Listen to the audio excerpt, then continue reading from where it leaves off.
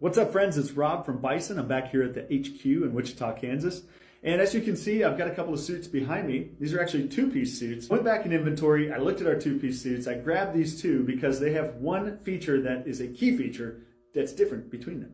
This black one is an early production suit. It has a plastic waist zipper. The waist zipper attaches the upper half, the jacket half of the suit to the lower, the pants half. And as you might expect, that is a very important feature because it keeps the suit together should the worst happen. If you fall off your motorcycle on the street or on the racetrack, you go tumbling, you go sliding, you want the suit to stay in one piece. You do not want it to pull up. You're gonna have some strawberries, right?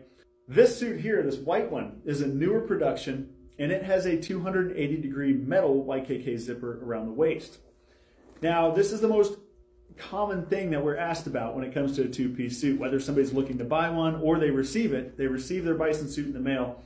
This is the comment that we get. I put this thing on and I can't zip it together or I can't really unzip it easily. I need somebody to help me. Just everything's binding up. And the reason for that is the real world operation of that metal 280 degree zipper is intended to be off of your body. We want you to take it off, lay it down, and zip it and unzip it.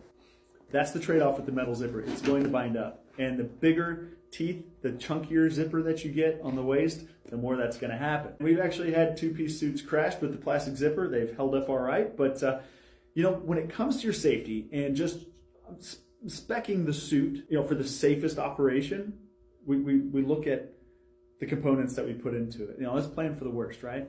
And for us, the trade-off of convenience of having a small panel or even a plastic zipper around the waist just doesn't outweigh the safety benefits of a big metal zipper at the attachment point on a two-piece suit. We want you all to go fast, but we want you to be as safe as possible. Go fast, be safe. That's our motto, right? So go to bisontrack.com. You can spec a Thor 1, a Thor 2 Airhide, or a vintage rebirth suit in two-piece at no additional charge.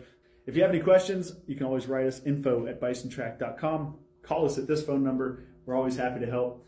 Thank you guys. Go fast, be safe, and we'll see you in the next video.